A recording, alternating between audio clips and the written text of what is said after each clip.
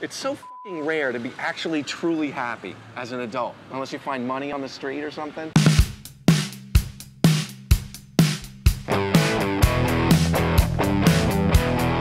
It's the 20 year anniversary of my band, Loaded Poets.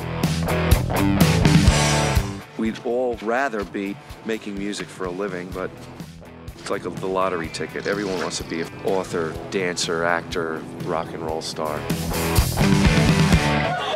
I always like to uh, see if we're rock stars yet with this one simple little test.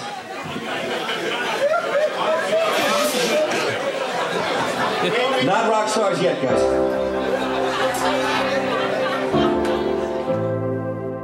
It was kind of a strange thing to just look up at the stage, see him up there doing his thing, and in the first 10 seconds say, okay, there's the person I can stay with for the rest of my life. We've been married 13 years. We have no children because we haven't yet consummated the marriage.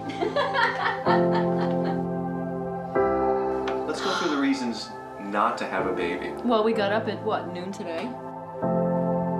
I don't want to have the regret, lame feeling of having done this and not given it my all.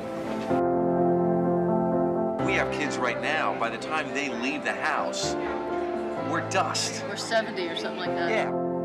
There's a lot of people in my own hometown that have achieved some level of fame. I'm going to pick their brains and find out what the hell's wrong with me.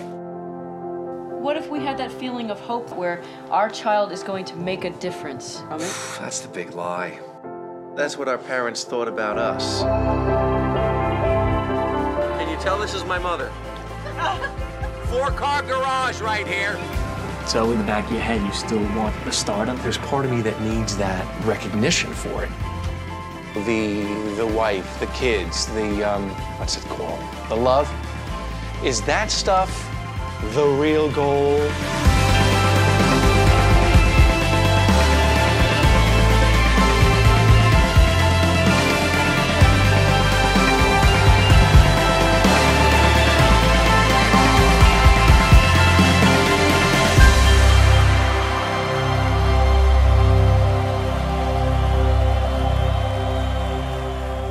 Ashamed that we don't have prolific intercourse? Are you Let me take it from here.